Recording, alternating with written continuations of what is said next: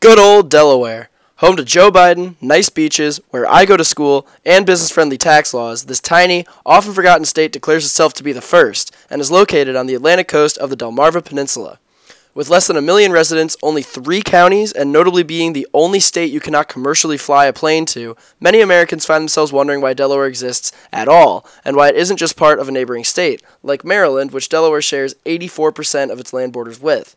To many Delawareans, this is a common and somewhat offensive question. Delawareans know their state is tiny, but do they know why? In this video, I'm going to explain how Delaware came into existence, as well as how it managed to retain political independence throughout the formative years of the United States. So, let's begin.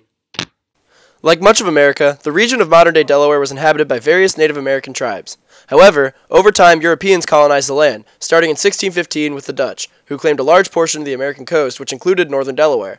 However, the Dutch did not yet have settlements in modern day Delaware. The first European settlement in Delaware was founded by the Swedes in 1638. They stayed quiet, but in 1655, Dutch forces went to enforce their claim. The Swedes surrendered without conflict and left. Nine years later, the English took over the New Netherland colony. New Netherland was split into two, creating New York and New Jersey, and Delaware was a part of this, but British control was shaky, and the Dutch took the land back over in 1674. The English regained control that same year with a treaty that ended the Third Anglo Dutch War, and the Netherlands never went on to administer mainland North America again.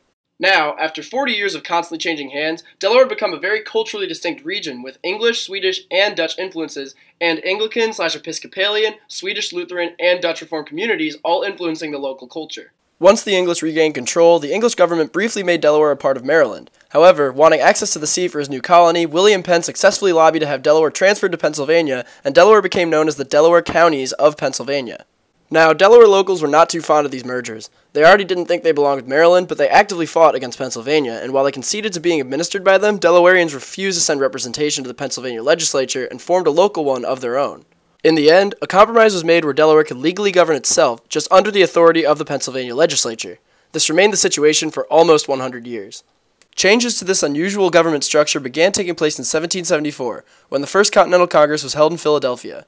This Congress included delegates from both Pennsylvania legislatures, the Delaware one and the Pennsylvania one, which also remained the case during the Second Continental Congress. As the Second Continental Congress began unraveling into the colonies writing up the Declaration of Independence, the delegation from the Delaware counties drew up their own state constitution and quickly declared themselves an independent state from Pennsylvania.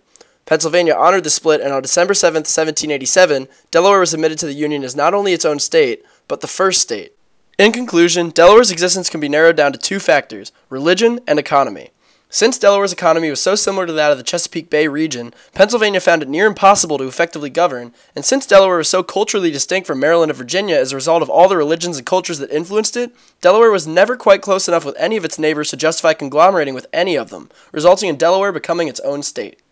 Thank you guys so much for watching my video on why Delaware is a state. I hope you guys learned something and I hope you guys enjoyed watching this. Uh, it took a good amount of work, but I very much enjoyed it. If you guys have any suggestions for geography videos you'd like to see in the future, please leave them in the comments. I'm very open to suggestions. hopefully I will get another geography video out soon. But until then, I'll be uploading VAT 19 reviews for my loyal subscribers.